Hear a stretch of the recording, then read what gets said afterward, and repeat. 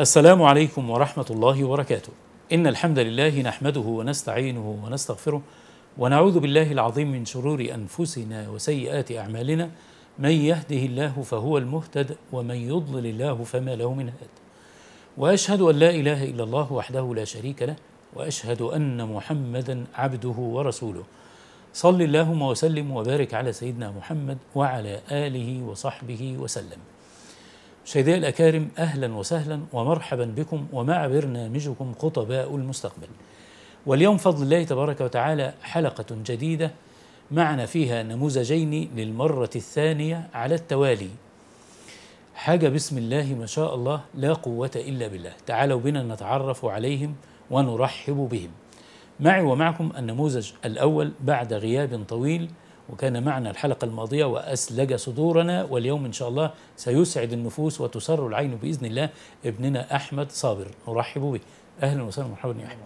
ومنور يا عسل حقيقة الأسبوع اللي فات كان 10 على 10 الحلقة اللي فاتت دي ما شاء الله. ما شاء الله.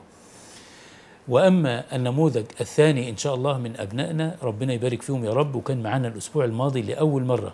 والنهاردة الحلقة الثانية على التوالي ابننا عبد الرحمن هليسة. نرحب بك. أهلا وسهلا ومرحبا بك يا أحمد. يا عبد الرحمن عبد الرحمن أخو أحمد. طبعا. يعلم الله أنا بحبكم قد إيه. ربنا يبارك فيكم ويحفظكم بحفظه. وأسأل الله تبارك وتعالى أن يجعلكم زخرا للإسلام وللمسلمين. آل هليسة كله. هريسه ولا هليسة. هليسة. هليسة. بالله. قولها أنت تاني. هل. هليسة. هليسة. هليسة. كأنك بتعلم الكلام. آه الله يحفظك. عسل. بارك الله. فيك. بسم الله ما شاء الله. شهداء الأكارم كعادتي ومع حضراتكم في كل مرة بنلتقي إما هديا من هدي النبي صلى الله عليه وسلم حتى ننشئ الأولاد ونربيهم عليه أو نتحدث عن التربية. فاليوم إن شاء الله استكمال لثلاث حلقات مضت عن حسن الخلق خلق كريم نربي أبناءنا عليه. فوالله أرى ومن وجهة نظري أن أزمة العالم كله وخاصة المسلمين في الأخلاق. فما بالنا لا نتحلى بخلق أكرم الناس وسيد الناس وأحسن الناس خلقا وخلقا. إنه المصطفى وكفى. صلى الله عليه وآله وسلم. سيدنا محمد صلى الله عليه وسلم بشهادة رب العالمين وإنك لعلى خلق عظيم. عارف ده معناه إيه؟ أن الله تبارك وتعالى فتش على قلوب العباد. كل العباد ليصطفي منهم نبيا ورسولا ليختم به الرسالات. فاختار أحسن الناس خلقا وخلقا. إنه محمد ابن عبد الله صلى الله عليه وآله ومن والاه. أحسن الناس خلقا وأكمل الناس هديا ونسبا صلى الله عليه وآله وسلم. ماذا قال محمد صلى الله عليه وسلم؟ عن حسن الخلق. وفي هذه الحلقة إن شاء الله ضفها إلى ال- التي سبقت حديثين. في كل مرة حديثين. نأخذ منهم عظة وعبرة لمن أراد أن يذكر أو أراد شكورا ونجعلها نبراسا أمام أعيننا لننشئ الأولاد ونربيهم عليه بإذن الله تبارك وتعالى. أما الحديث فقد رواه الترمذي أيضا من حديث عمرو بن العاص. قال: قال رسول الله صلى الله عليه وآله وسلم: لم يكن رسول الله صلى الله عليه وسلم اسمع فاحشا ولا متفحشا. لم يكن رسول الله صلى الله عليه وسلم فاحشا ولا متفحشا صلى الله عليه وآله وسلم إنما كان إيه صلى الله عليه وسلم كان يقول إن من خياركم أحاسنكم أخلاقا. حط دايما الحديث ده قدام عينيك لنفسك والاهل بيتك ولأولادك اللي هم أمانة ستسأل عنها يوم القيامة. لم يكن رسول الله صلى الله عليه وسلم أكرر فاحشا ولا متفحشا. يعني إيه؟ ما بيقولش الفحش في القول الكلام الوحش اللي زي ما كتير قوي من الشباب بيقولوا وكتير قوي من النساء بيرددن بعض الكلمات والله ينجى الجبين من الجبين منها خجلا بل يقشعر البدن كله اسفا وحزنا على ما أصاب بعض المسلمين في ألفاظهم وكلامهم.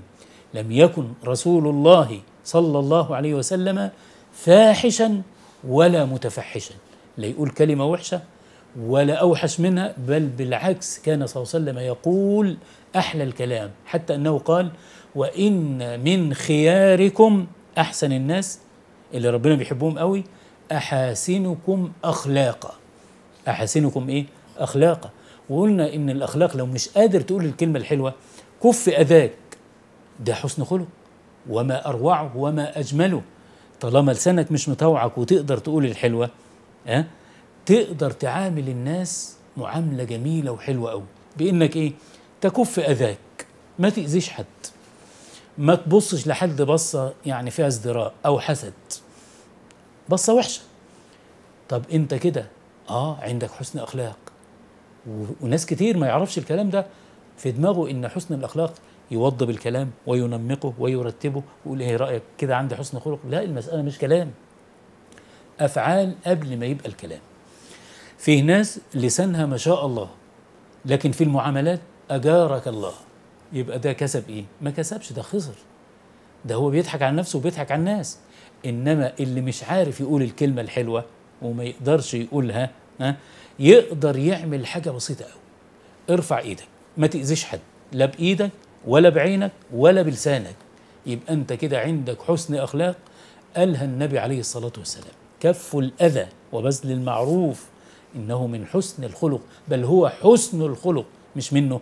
حسن الخلق أن تكف أذاك عن الناس أن تعامل الناس معاملة طيبة أن تنطق كلمات حلوة كده يعني يشعر بها اللي قدامك إن أنت أخوه وحبيبه. هو الأخ هيقول كلام وحش ده أخوه؟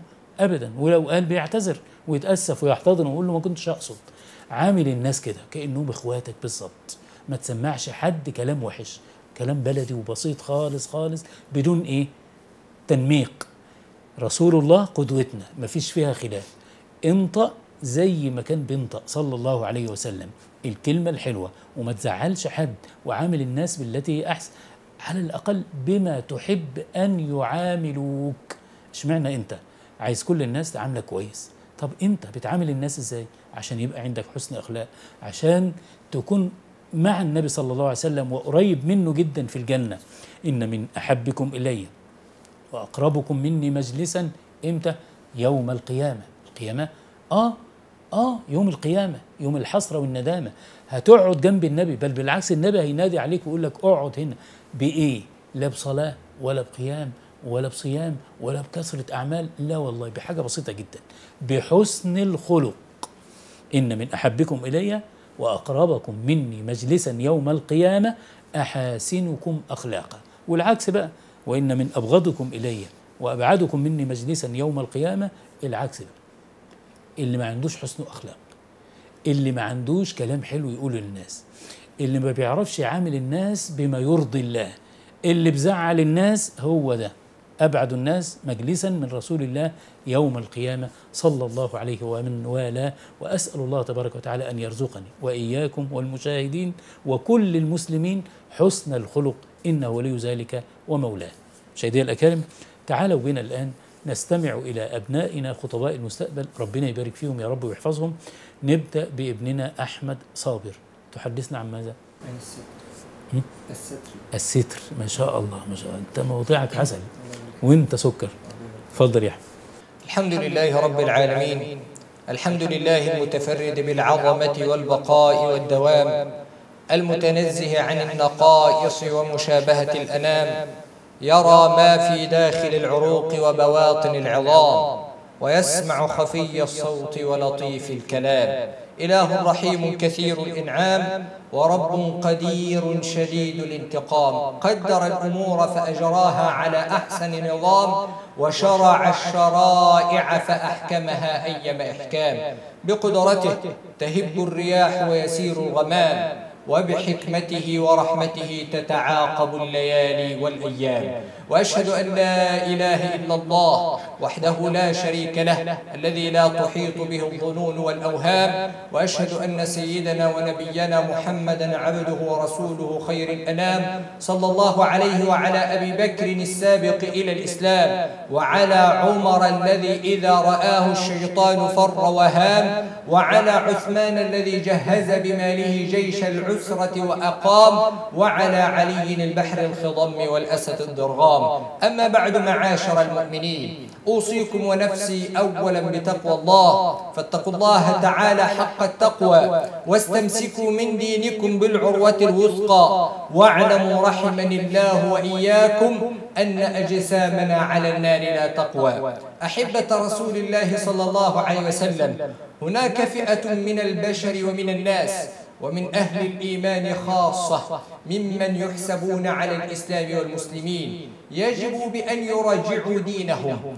ويجب بأن يراجعوا عقيدتهم. إن الحق تبارك وتعالى أمرنا بالستر وإن الله تبارك وتعالى حيي ستير يحب الحياء إن الستر من أسماء الله تبارك وتعالى. فلنتق الله في هذه في هذا الخلق. واستكمالا لسيدنا واستكمالا لشيخنا في حسن الخلق. أن حسن الخلق لا يقتصر على بأنك تكون متلفظا بألفاظ جيدة فحسب.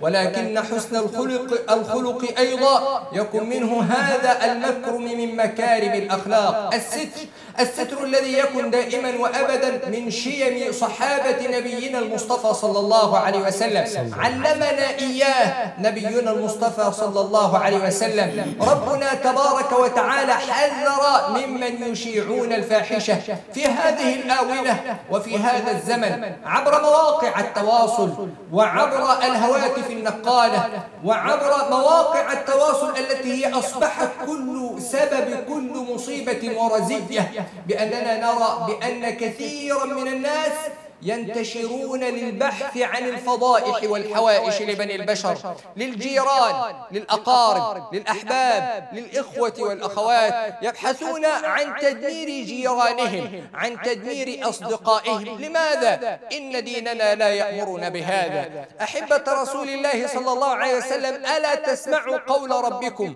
سبحانه وتعالى؟ إن الذين يحبون أن تشيع الفاحشة في الذين آمنوا لهم عذاب أليم في الدنيا والآخرة. والله يعلم وأنتم لا تعلمون. فلنتق الله ولنراجع مما ننشر ولنراجع فيما ننشر ولنراجع فيما نجرح وفيما ينطلق اللسان. اللسان. الذي ينادي عليك كل يوم وينادي على جميع أعضائك وجوارحك. ويقول اتق الله فينا. فإنما نحن بك. فإن استقمت استقمنا وإن اعوججت اعوججنا. فلنتق الله في هذه المساوي ولنتق الله في كل لفظ وفي كل كلمة تقال. ربما تغتاب وتجرح. وربما أيضا تقتل بكلمة وربما تفرق وتهدم أسرة وربما أيضا تكذب كذبا وافتراء على على الله وعلى رسوله صلى الله عليه وسلم. ويا عبد الله يا من دائما وأبدا ينتهك في عرضك ويخاض في عرضه ألا تسمع لله ضر القائل؟ يا عبد الله لا تخف من أي شيء روعك. كن مع الله يكن ربي معك. وإذا نابك كرب فاصطبر. وادع مولاك وجفف أدمعك. ما لنا إلا إله واحد. فاسأل الكون وكن من أبدعك واسأل الطفل جنينا في الحاشا. من رعاك الآن من لا أشبعك. واسأل البدر مطلا في الدجى. باعثا أضواءه ما أروعك. واسأل الصبح تجلى مسفرا. بعد ليل حالك من أطلعك. سر رسول الله. وقل يا مصطفى يا شفيع. الخلق من قد شفعك. إنه ربي إله واحد كن مع الله يكن ربي معك. ألا تسمع الخبر عن نبينا المصطفى صلى الله عليه وسلم حين علمنا كيف يكون الستر بأن ماعز ابن مالك الأسلمي ذلكم الصحابي كان صحابيا لرسول الله صلى الله عليه وسلم وارتكب ذنبا من الذنوب وارتكب حدا من الحدود. فذهب ماعز إلى مالك وإلى أحد من وإلى أحد من بني عشيرته وألقى إليه بكلامه وبفعلته. ولا يستر على نفسه ولكنه يخاف الله تبارك وتعالى ويبحث عن طريق للرجوع إلى الله تبارك وتعالى نادم على ذنبه ونادم على معصيته وعلى ارتكاب حد من حدود الله. فأشار عليه مالك وقال له اذهب إلى رسول الله صلى الله عليه وسلم لعل قرآنا ينزل فيه. فذهب الرجل ماعز بن مالك الأسلمي الصحابي الذي يرجو لقاء ربه تبارك وتعالى وهو بقول الله سبحانه وتعالى قل يا عبادي الذين أسرفوا على أنفسهم لا تقنطوا من رحمة الله إن الله يغفر الذنوب جميعا. وقف أمام النبي صلى الله عليه وسلم واعترف بذنبه واعترف بخطيئته وأقر لها أربعة فاعترض وعرض عنه النبي وأعرض عنه مرة وثانية وأقر أربعة. فما كان من النبي صلى الله عليه وسلم إلا وأقام عليه الحد. فعلم بذلك رسول الله صلى الله عليه وسلم بعد أن صلى عليه ودعا له واستغفر لذنبه إلا أنه علم أن مالكا هو الذي أشار عليه بأنه يكشف ستره وأشار عليه بأنه يذهب إلى النبي صلى الله عليه وسلم. فقال له النبي صلى الله عليه وسلم يا مالك أو ما قد سترته بثوبك فكان خيرا لك. قال النبي صلى الله عليه وسلم كان خيرا لك بستره على ذنب صاحبه وبستره على فاحشة غيره فلنتق الله في نشر الفواحش. ولنتق الله في نشر البداءات ولنتق الله في حسن الخلق ولنتق الله فيما نحن نعيش في حياتنا. ولنراجع كتاب ربنا وسنة نبينا المصطفى صلى الله عليه وسلم. أقول قولي هذا وأستغفر الله العظيم لي ولكم وأسأل الله تبارك وتعالى أن يسترني وإياكم في الدنيا والآخرة. آمين آمين وآخر دعوانا أن الحمد لله رب العالمين. والسلام عليكم ورحمة الله وبركاته. أحسنت يا أحمد. بارك الله فيك. الحقيقة موضوع الستر موضوع جميل جدا جدا جدا. من أسماء الله تبارك وتعالى آه، ما نقولش بقى الستار لأن أخطأ من يقول ستار من أسماء الله الحسنى لا الستير. طب الستار ده يبقى إيه؟ برضو معلومة كده يعني على الماشي كده إن شاء الله. ال- الستار ده اسم شيطان.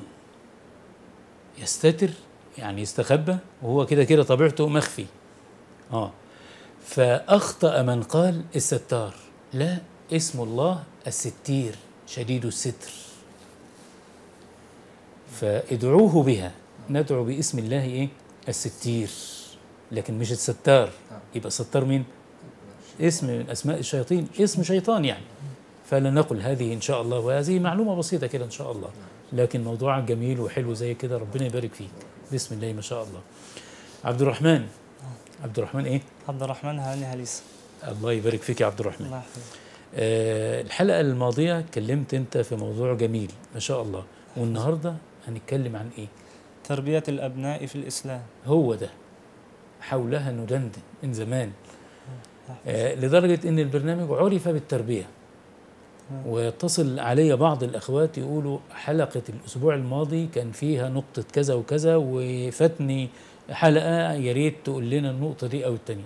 لا النهاردة جايبين لكم عبد الرحمن هريسة إن شاء الله ومسكر وحلو أهو برضه زي الهريسة يعني إن شاء الله. يحفظك هتكلمنا عن إيه؟ التربية. تربية التربية في الإسلام. في الإسلام. وده هيبقى تخصصك إن شاء الله إن بعد شاء الله. اتفضل يا حسن.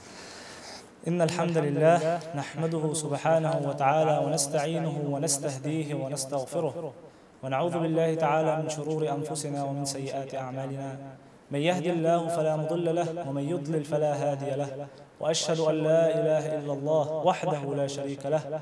وأشهد أن محمدا عبده ورسوله. نور الهدى شمس الدجى أعلى البرية عنصرا. صلوا على خير الأنام محمدا. أما بعد فموضوع حديثنا عن تربية الأبناء في الإسلام. تربية الأبناء مسؤولية جميع الآباء والأمهات والمربون ووسائل الإعلام والعلماء. الكل يشارك في التربية. ودورنا أن نبدأ هذا الأمر مبكرا عند الأطفال عن طريق تدريبهم على العبادات منذ الولادة. من خلال سماعهم القرآن وتقبيلهم أثناء العبادات وبعدها وعدم الغضب عليهم. فيرتبط عند الطفل أن وقت العبادات وقت حب وسكينة وسعادة كما كان يفعل النبي صلى الله عليه وسلم. ومنها ما روي عن أبي هريرة رضي الله عنه قال قبل رسول الله صلى الله عليه وسلم الحسن بن علي وعنده الأقرع بن حابس التيمي جالسا. فقال الأقرع إن لي عشرة من الولد ما قبلت منهم أحدا. فنظر إليه الرسول صلى الله عليه وسلم وقال من لا يرحم لا يرحم لذلك حث الإسلام على تنشئة الطفل على الأخلاق الحميدة من البداية. لأن هذا الأمر يصعب عليه في الكبر. لأن إهمال هذا الأمر يؤدي إلى فساد الفرد وبالتالي فساد الأسرة. ثم فساد المجتمع. وفي يوم دخل أحد الخلفاء ومعه ابنه وقد بلغ من العمر تسع سنين. دخل دخلوا على الخليفة المأمون. وكان المأمون يرتدي خاتما. فأراد المأمون أن يداعب الطفل الصغير فقال يا غلام هل رأيت أجمل من هذا الخاتم؟ قال, قال نعم. فتعجب المأمون وسكت قليلا ثم قال ما هو يا غلام؟ قال الإصبع الذي فيه. من الذي علم الطفل الصغير هذا الكلام؟ رباه أبوه وتعاهده أبوه. لأن حسن الكلام يدل على العقل.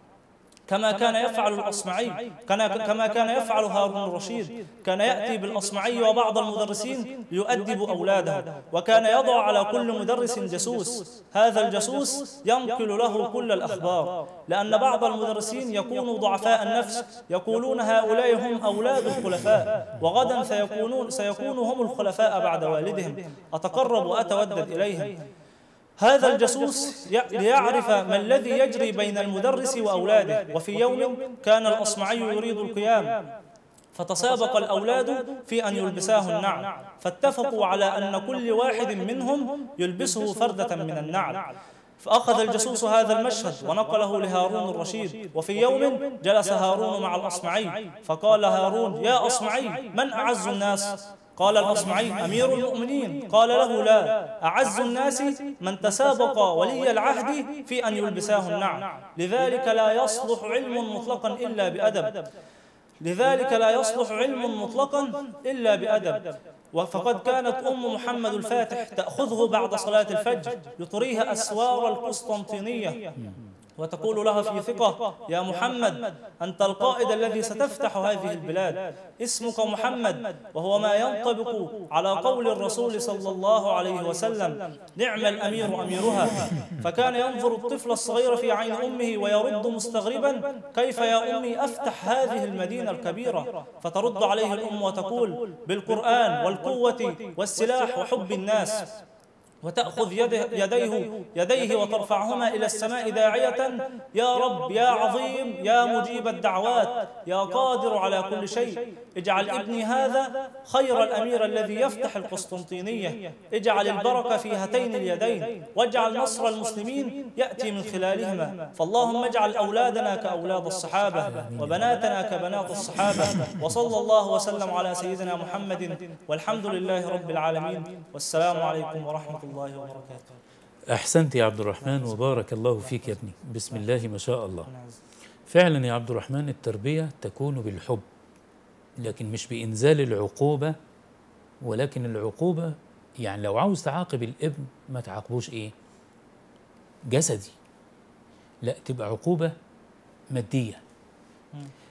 حرمان من نزهة من فسحة من لعبة كان عايزها لكن مش عقاب قاسي وضرب. ابدا. حتى إن أنت ذكرت حتة جميلة قوي عجبتني إن الصحابة والتابعين كانوا يؤدبون أولادهم ويربونهم على العبادات بحب كتقبيلهم بعد إيه؟ بعد العبادة. بعد العبادة.